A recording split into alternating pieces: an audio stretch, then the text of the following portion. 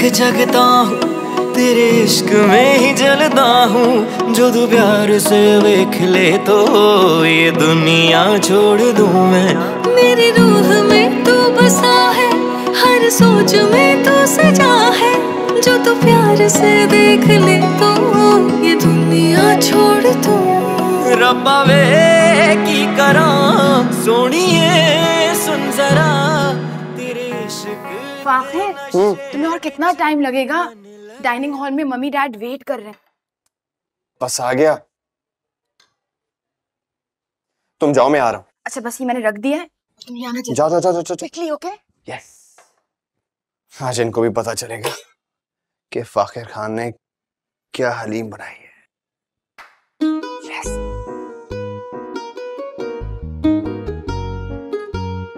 और जनाब ये आ गई आपकी गर्मा गर्म haleem please try thank you looking nice madam आपका फेवरेट पुलाव आई प्रॉमिस मैं नहीं बनाया।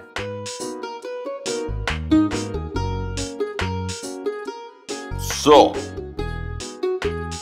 here we go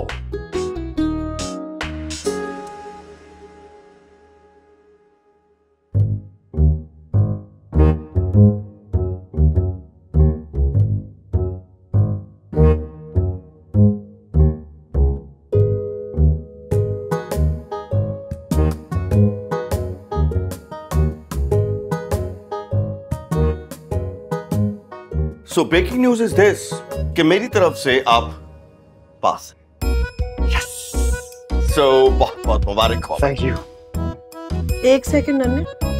शायद आप भूल रहे हैं। आपने कहा था कि फाइनल फैसला मेरा होगा।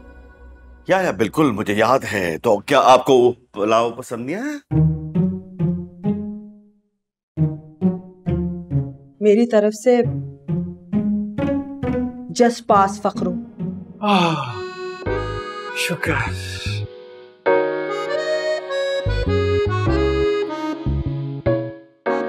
अब अगर आपकी अम्मी को कोई एतराज़ नहीं तो हमारे घर आए। पहले माफ़ी मांगे और फिर पप्पी का रिश्ता।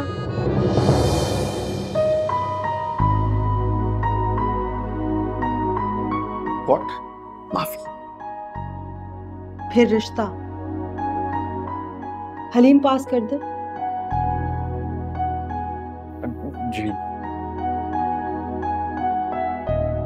बेटा तुम भी बैठो ना।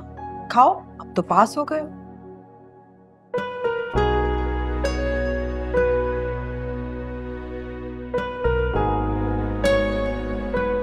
मैं जानती हूँ जो भी हुआ बहुत गलत हुआ। उसी गलत फहमी को दूर करना चाहते हैं हम। मम्मी और डैड की तरफ़ से आप दोनों से माफ़ी मांगती हूँ।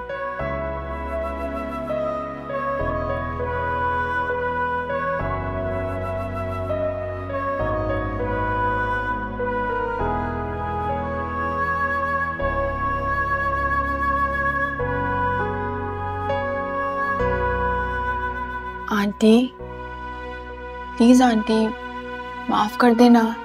प्लीज़ प्लीज़ माफ़ कर दें। अरे, मेरी जान, मेरा बच्चा, तुम क्यों माफ़ी मांग रही हो। माफ़ी मांगने की कोई ज़रूरत नहीं है। शब्बो जी आए, माफ़ी मांगे और बस रिश्ता।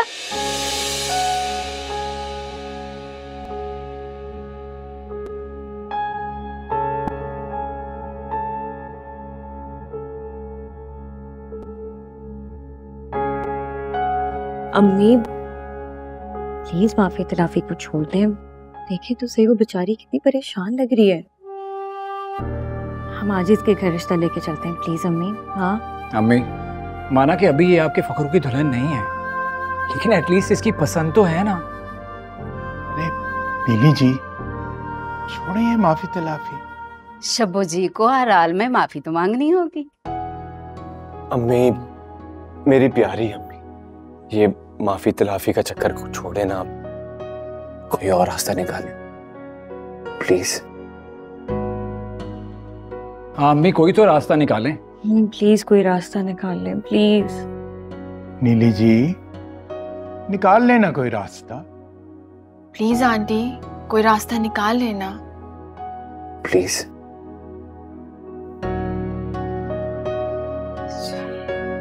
मेरे साथ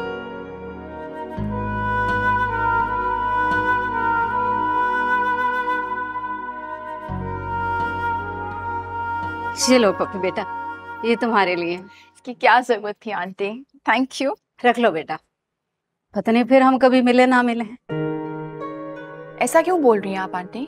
ये ये ऐसा क्यों बोल रही है? पता नहीं ऐसा क्यों बोल रही है। क्यों बोल रही है ऐसा? पता नहीं क्यों बोल रही हैं। पप्पी तुम्हें अपने माँ बाप को छोड़कर फखरू से शादी करनी हो तुम्हें कबूल है? नहीं ना? बिल्कुल इसी तरह। मुझे भी अपनी बेइज्जती कबूल नहीं है जो तुम्हारी माँ ने की। एक दफ़ा नहीं, दो दफ़ा। चले, गलत फहमी से ही सही। दूसरी बार भी गए हम। लेकिन तुम्हारी माँ ने टिका के हमारी बेजती की। बस धक्के देने बाकी रह गए थे। तीसरी बार नहीं। अब फैसला तुम्हारे हाथ में है। तुम्हें फखरू से ज़्यादा मोहब्बत है या फिर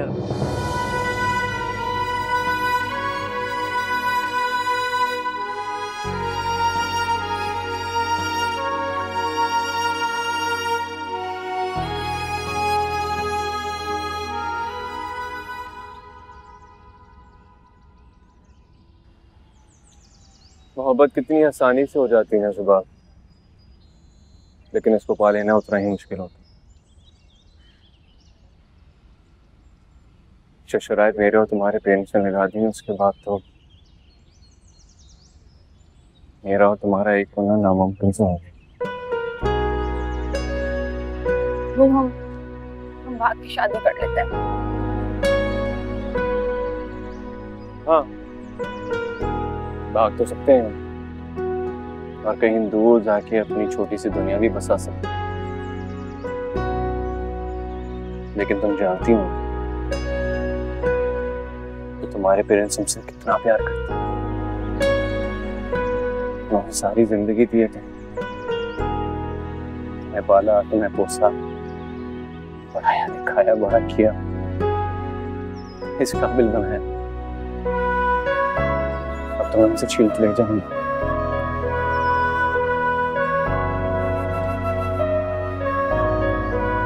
ये नहीं होगा।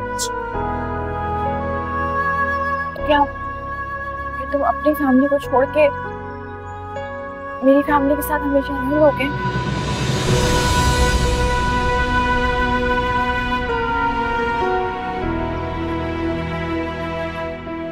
मेरे जो अब्बा जी है ना सुबह और अम्मी ये दर्द कभी सह नहीं पाए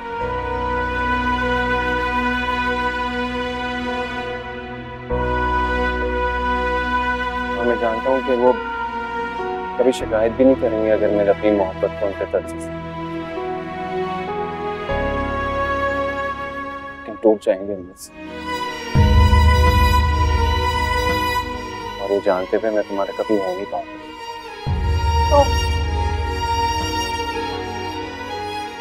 तुमने क्या सोचा है?